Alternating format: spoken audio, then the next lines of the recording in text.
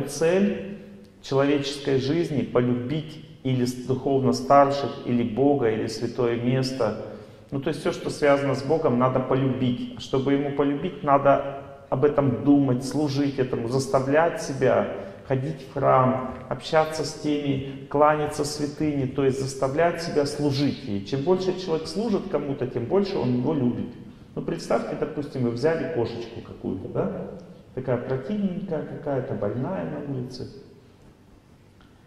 И вы начинаете ей служить, заботиться, ее как бы лечите там и так далее. И потом постепенно вы начинаете замечать, что она очень хорошая. Она такая мурая, такая. То есть из нее исходит любовь. И вам нравится эта кошечка, вы говорите, моя кошечка, никому не отдам. Любимая. Но кошечка нас от памяти о нашей судьбе не спасет. Ни кошечка, ни муж, ни сын, ни начальник завода, никто не спасет. Потому что все они находятся в той же самой памяти о себе. Ну, то есть утопленника утопленника не спасает, понимаете? То есть и сам себя за волосы из болота не вытащишь. Нужен такой человек, который помнит не о себе, а о том, что вытаскивает его из вот путь судьбы. И такой личностью является наставник. Или святая, святое место, или святой человек с иконой. Даже ты пусть его не видишь живьем, но ты думаешь о нем и контактируешь рано или поздно с ним. Или сам Господь, допустим, изображение Бога, если это принято в духовной традиции. Допустим, в мусульманстве не принято поклоняться изображению, поклоняются книге, священному писанию, думают о книге, думают о святом имени Бога а думают о святых местах, принято изображение святых мест. Ну то есть другими словами, как оформлено это понятие святости в вашей вере, таким путем и идите. Он, несомненно, даст победу, потому что когда вы святость будете чувствовать как свою любовь и жить для нее, счастье приносить святыне, а не себе, тогда судьба человека начинает сгорать в этот момент. Ну то есть настолько сильно человек наполняется энергией счастья от Бога, настолько сильно, что его события, вот эти сильные жизни, которые у него есть, они начинают таять, их сила в сердце тает, и человек уже спокойно к ним относится. Вот, допустим, приведу пример. Представьте, от вас только ушла жена. А, вам невозможно это вытерпеть, вы его вспоминаете. Не успеешь уйти, я бегу за тобою чтобы во сне, там, во сне не растаял твой след голубой. Вот такая любовь, такая беда, когда тебя нет, ты со мной всегда. Вот, понимаете, то есть, но прошло три года, и он такой, как бы, все, забыл, спокойно в сердце. Он до этого страдал, а сейчас спокойно стало в сердце. Вот запомните, это спокойно можно получить просто думая о Боге. За 5-10 дней. Не надо три года мучиться. Понимаете, если человек начинает служить Богу, думает о Нем и отвлекается от своих страданий в результате молитвы, служения в храме, в результате заботы о тех, кто верит в Бога, то есть чем ближе ты к Богу, чем больше себя, свое служение Ему отдаешь, тем больше ты получаешь от Него назад что? эту чистоту, какая у него есть, чистоту. И вот эта чистота, когда ты ее получаешь назад в свое сердце, она гасит пожар твоих страданий. То есть у тебя в сердце горят страдания, они гаснут, гаснут, гаснут, и ты такой, а все нормально у меня, все спокойно. Это значит, что первый круг жизни, страданий преодолен, да, победил ты его, первый круг. У был такой замечательный пример, такой один молодой человек, такой очень волевой, пришел ко мне и говорит, Олег Геннадьевич, у нас семья, моя жена с ребенком ушла от меня. У меня были ошибки определенные. Я хочу, чтобы вы меня вели этим путем и сделали так, чтобы она вернулась. Ну, конечно, я так сделать не могу, сделать он может только он, а я могу просто быть проводником. Как знаете, вот этот вот на машине едешь, там GPS, да, показывает дорогу, здесь пробка там красная, надо туда повернуть там. Ну, то есть я могу только так. Я ему это объяснил, он говорит, нормально, пойдет. Он говорит, давай, куда ехать? Я не знаю, я них дороги вообще не знаю. И мы с ним поехали. То есть я ему говорю, вот сейчас никуда не надо ехать, надо молиться, думать, слушать голос святого человека или хора там, или кого-то еще. И через звук пытаться также настраиваться, как они, через звук постепенно, постепенно, постепенно в сердце сделать спокойствие. Он говорит, сколько на это времени может понадобиться? Я говорю, ну, месяцочек. Он, он говорит, ну ладно, я когда успокоюсь, я буду каждый день по много часов вот так делать, слушать голос, настраиваться, молиться, забыть про себя, служить им, кланяться святыне. И постепенно я надеюсь, что я успокоюсь. Я говорю, вперед, добрый путь. И он пришел через какое-то время, говорит, я спокоен, все, у меня спокойно. Вот. Я не знаю, это хорошо или плохо, у меня жена ушла с ребенком, у меня спокойно. Я говорю, хорошо, вы же не то, что вы забыли, просто вы облад... начали обладать собой. То есть вы, это ваше спокойствие не означает безразличие, а означает, что вы уверены, что все будет хорошо, что она вернется. Он говорит, так и есть. Я, говорит, молился и почувствовал сердце, что все будет хорошо, что она вернется. Поэтому я успокоился. Это первая стадия победы над судьбой прошла. Я говорю, замечательно, поздравляю вас, прошли первую стадию. Говорит, теперь что дальше надо делать? Я говорю, дальше надо делать следующее. Вам надо теперь опять также слушать голос святого человека, молиться так же, как он, настраиваться на звук, пытаться жить его жизнью, стать вне себя, то есть его жизнью, ему кланяться, о нем думать, или о святыне какой-то, думать, вот вместе с кем-то повторять молитву, чтобы сильнее было, не в одиночку. И достичь того, что в мыслях, когда ты уже вспоминаешь, как ты беседуешь с ней, как ты с ней разговариваешь, чтобы у тебя не было обиды. Чтобы ты с ней разговаривал в своем уме без обид. Потому что как бы обычно как? Она бросила, ты ей звонишь, она говорит, как у тебя дела? Все хорошо? Как ты там уже нашел себе кого-нибудь? У тебя все нормально? У меня все нормально, я себе нашла. И он такой, трубку кладет, он не может вытерпеть такое предательство. Ну, то есть человек в другом мире уже, в другой реальности живет, близкий, он уже забыл, все, у него нет чувств, нет родственных отношений. И вот задача заключается в том, чтобы в этой ситуации не волноваться, а почувствовать, что все будет хорошо, и, и простить, принять вот эту вот несправедливость, которая в беседе приходит от близкого человека. Он такой почесал реку, говорит, фу, ну это тяжело. Я говорю, ну а ты думал, что легко судьбу побеждать? И он пошел, говорит, ну я если смогу, я приду назад, не смогу, не смогу, что делать? Смог. Пришел назад, говорит, все, я, говорит, не обижаюсь. Принял все. И говорит, знаете, я даже понял, что это я виноват во всем. Вот на этой стадии второй человек реально понимает, что он уже, он приходит в эту точку, что он сам во всем виноват. Он приходит в эту точку, знание приходит ко мне. Он говорит, я сам виноват, поэтому что обижаться? Говорите, что дальше делать. Сильный оказался человек, необычный. Я удивился, что он второй круг прошел, понял, что он точно вернет жену. И говорю, теперь следующий этап такой. Вам надо опять начать молиться, чтобы подготовить себя к тому, чтобы с ней начать общаться. Он говорит, так я с ней и так общаюсь, я хожу, там, вижусь с ребенком. Я говорю, да нет, говорю, общаться надо не так. Надо общаться по-дружески, как будто ничего и не произошло. Все хорошо. То есть надо чувствовать себя достойным в отношениях с ней. И по-дружески, по-доброму к ней себя вести, понимая, что это своя, твоя судьба через них действует. Она ни в чем не виновата.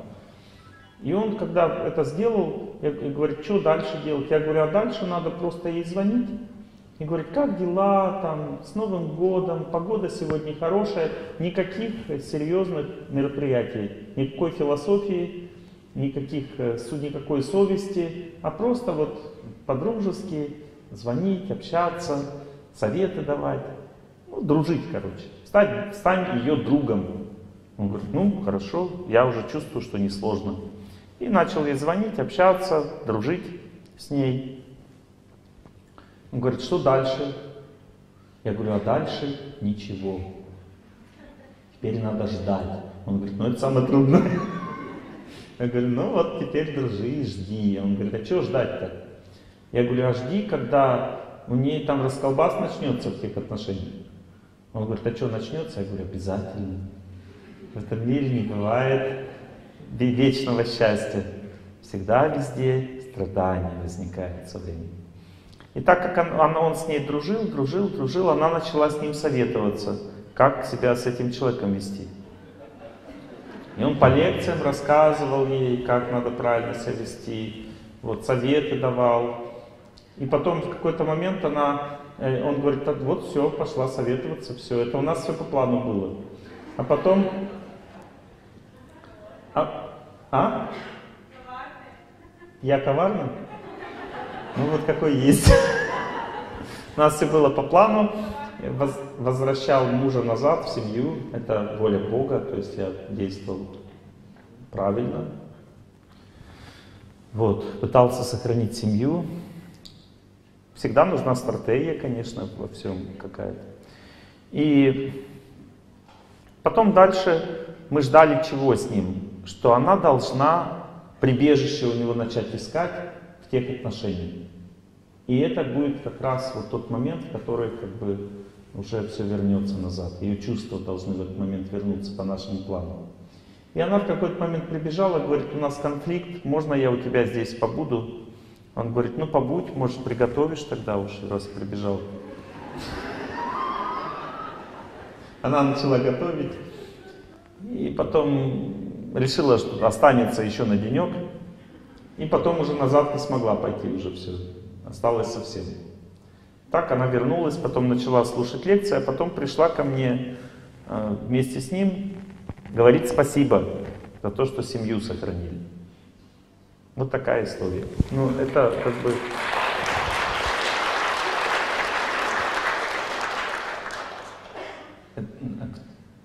Вот и сказки конец, ты слушал, молодец. Нет, как бы это нормально, это не сказка, это правдивая история, но в вашей жизни может быть не так все радужно. Все разные ситуации бывают непреодолимые кармы, человек не возвращается. Но зато победа всегда дает победу. Если девушка, допустим, победила свою судьбу, а он не вернулся, то Бог дает другого. Ну, знаете, у Бога мужиков завались. Ну, то есть нет как бы вообще никаких проблем. А? Да, у него завались мужиков.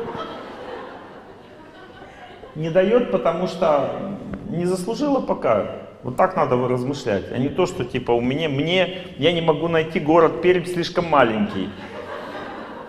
Нет, как бы причина не в этом. Причина в том, что пока вот не заслужила. Все приходит со временем печали до радости рукой подать. Ну, то есть все побеждает человек свою судьбу. Самый лучший способ побеждать судьбу это молитва.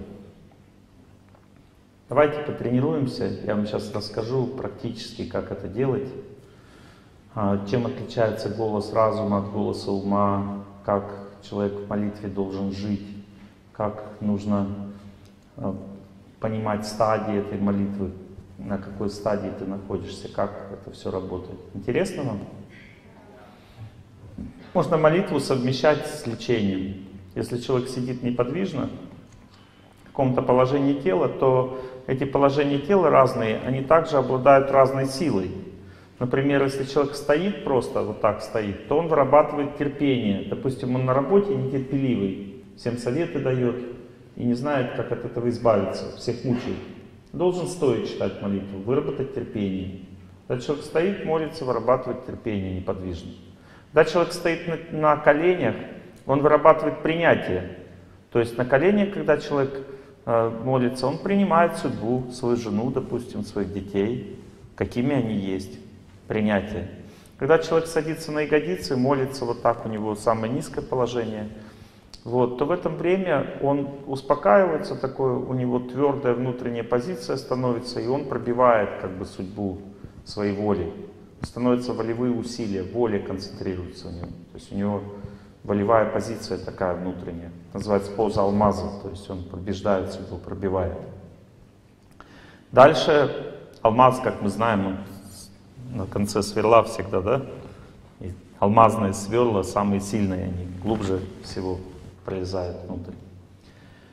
Дальше следующее положение тела называется поза бабочки. Вот две ножки вот так вот. Мы говорим положение, при которых человек молится, сильной позиции. Две стопки соединили, две коленки вот так врозь, и спина чуть-чуть полусогнутая. В этом положении человек очищает себя.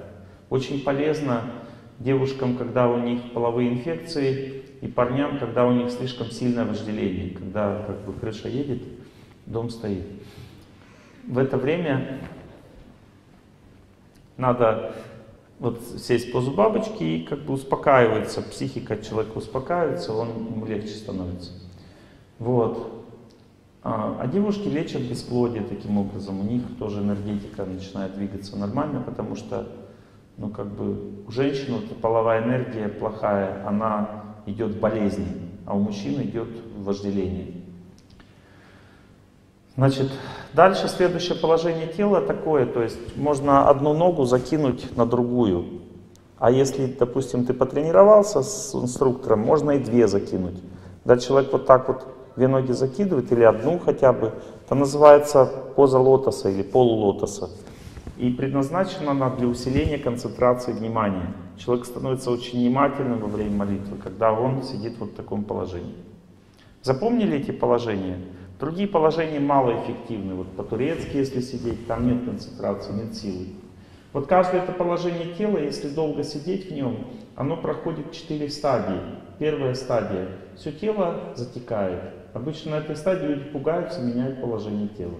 Но если человек привык уже таким статическим упражнениям, он может попробовать дойти до второй стадии. Вторая стадия называется жар. То есть человеку становится жарко после, на второй стадии. Третья стадия — это мурашки или онемение. В теле у всех по-разному. И четвертая стадия — легкость. Когда человек до легкости доходит, то он побеждает какие-то хронические заболевания в это время. То есть его психические каналы пробиваются полностью. То есть сначала они втыкаются преграду, и возникает затекание тела. Втыкается психическая энергия, тело затекает нарушаются функции. Вторая стадия — пробиваться психическая энергия начинает, жар появляется. Третья стадия — она начинает продавливать каналы, и в результате возникает онемение, такие иголочки. То есть она уже пробилась, она уже пошла, и иголочки начинают двигаться по телу. Четвертая стадия — легкость. Когда легкость пришла, значит можно уже поменять положение тела. Не советую сразу проходить все четыре стадии. Только несколько месяцев тренировки дадут вам возможность постепенно это делать. Понятно? Иначе вы можете перегрузиться.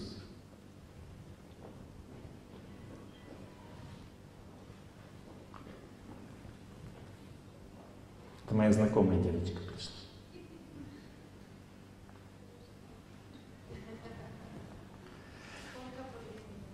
По времени, э, когда все четыре стадии проходят, обычно от 30 до 60 минут.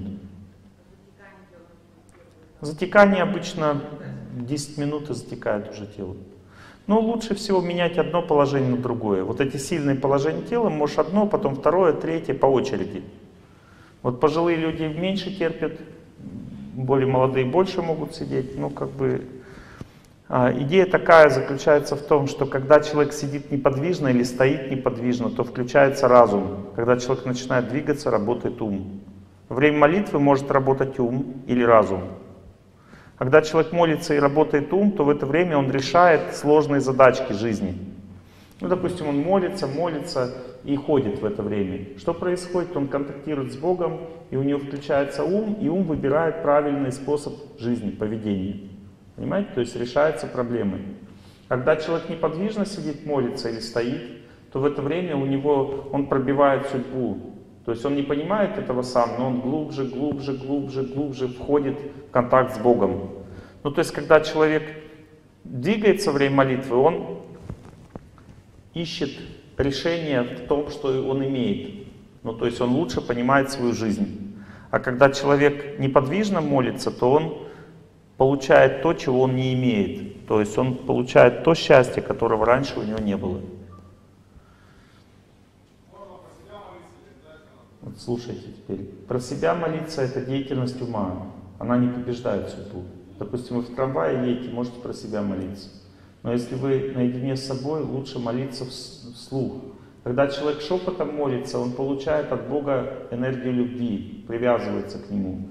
Когда человек громко читает молитву, он получает силу от Бога. Ну, то есть способность как бы задавить судьбу, побеждать ее, дается сильный громкий голос. А способность любить, прощать, принимать дает тихий голос. И та и другая молитва очень эффективная, но она по-разному действует.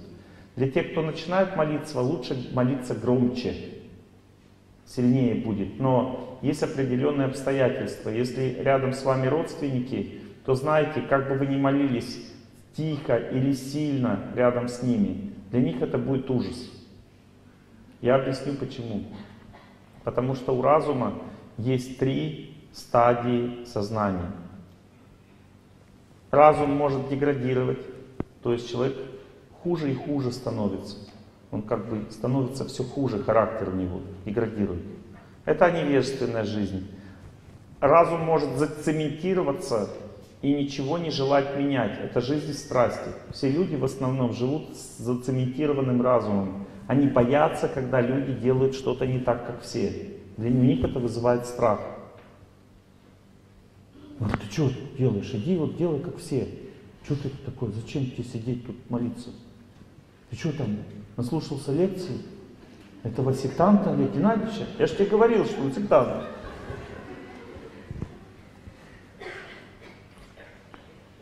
Люди боятся из этого страха, они от меня, обо мне в интернет очень много всего сочиняют. Я когда мне ну, скучно, я захожу и начинаю читать про себя. Сколько у меня детей внебрачных там, сколько чего там, какой я шарлатан там и все прочее. Очень интересно, столько сочинений там написали, Бог. Я сижу, смеюсь иногда. Вот. Это страх. То есть люди боятся, зачем я такие лекции читаю, которые меняют жизнь людей, куда-то их ведут. Может, у него тайные желания какие-то есть по отношению к людям, может, он их хочет свою веру заманить. Ну там такие вот всякие вот вещи. Никаких у меня тайных желаний нет. Вы сами это прекрасно видите, кто слушает лекции давно знает, что я наоборот счастлив, когда вы в своей вере остаетесь и никуда не, не выбегаете из нее. Я наоборот чувствую себя хорошо, потому, уютно, потому что у меня есть, допустим, своя вера, она не классическая, она идет из вет. И раз я лекции читаю, всегда появляется какая-то идея, может быть это лучше, раз он так хорошо все говорит. Но когда человек эту, эти идеи все отбрасывает и остается в своей вере, и как бы я чувствую, что все нормально, то есть я чувствую, что никакого предательства не произошло. То есть не произошло ничего такого, что я как-то поменял человека, его жизнь, его судьбу, его веру а просто ему дал знания, инструменты, которые он, которыми он может пользоваться. Человек должен быть более развитым, должен широко смотреть на мир. Я тоже пользуюсь разными инструментами. Допустим, я много из разных духовных традиций других беру, каких-то очень знаний. Допустим, а, христианская традиция, она сильна вот, пониманием, что такое смирение. Допустим, у святого Бенедикта есть 12 стадий описано смирение. Я их изучаю, тоже пытаюсь понять это все. И 12 стадий гордыни он написал. Ну, то есть есть разные виды знания, каждая традиция чем-то сильна. Вот, допустим, веды сильны пониманием тонкого мира, то есть они как бы это все подробно описывают, и это хороший инструмент для того, чтобы развиваться. В каждой духовной традиции есть свои инструменты такие, свои плюсы, свои преимущества. Допустим, в мусульманстве есть такая вещь, что у них есть способность сильной, быть сильным в отношениях с Богом. То есть люди в этой традиции такой силы достигают, что они даже не боятся смерти. Представьте, человек вообще смерти не боится. Это же удивительно, чудо. Вот, но, к сожалению, если неправильно это все использовать, то как человек использует это свое бесстрашие? Он использует, чтобы убивать других, а вот это уже грех. Понимаете? То есть, поэтому, если ты хочешь духовно развиваться, изучай хорошо, как это правильно делать. Не, не иди какой-то глупой дорогой. Она, это очевидно, что это неправильно, все люди тебе подскажут.